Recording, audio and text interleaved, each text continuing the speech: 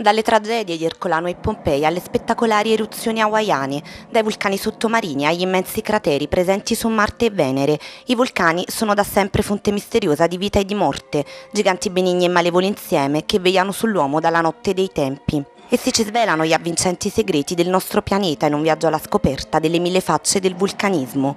A parlarcene Michele Lustrino, Dipartimento di Scienze della Terra dell'Università La Sapienza di Roma. I vulcani sono un, un oggetto estremamente complesso e, e, purtroppo ne conosciamo ben poco. Uh, di certo uh, i vulcani hanno influenzato in modo positivo e in modo negativo tutte le aree geologiche, in particolare sul sviluppo o meno di forme di vita.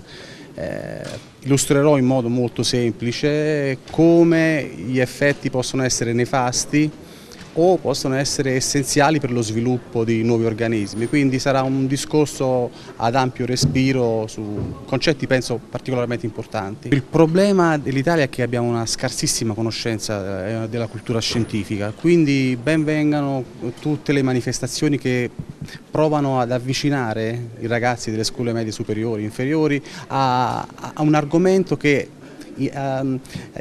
potrebbe sembrare ostico o difficile ma che assolutamente è pieno di eh, sorprese. Vulcani, cosa, come, dove è solo il primo di un ciclo di cinque incontri organizzati dalla Facoltà di Scienze Matematiche, Fisiche e Naturali della Sapienza.